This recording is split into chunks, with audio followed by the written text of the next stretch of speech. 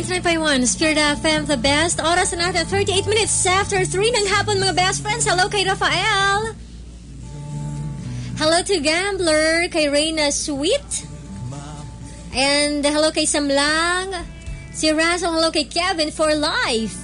Si Noisky uh, Jetly Rents at sa mga Bandinos Computer Shop.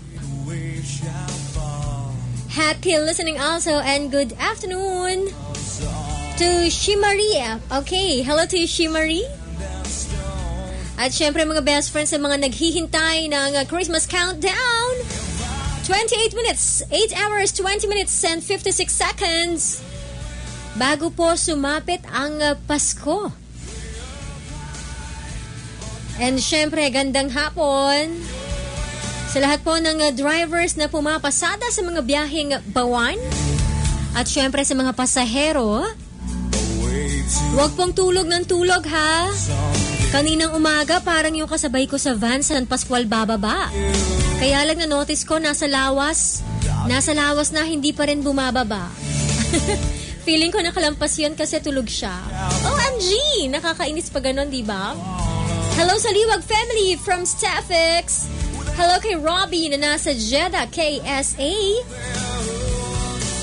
Hello kay Acer. Kay Henry Landicho, good PM, Ricky. Hello to you. Sa mga ngayon palang nagmimerienda, sa mga office employees. Oy, sigurado ako yung iba sa inyo nakuha ng kanilang sweldo ngayong Friday. 'Di ba? Masyadong uh, medyo advance ang kanilang uh, salary. Dahil sa Lunes ay walang pasok. So siguro yung mababait na company or mababait na boss. Ngayon pa lang ay ibinigay na ang sweldo ng kanilang empleyado. Hello kay Fe?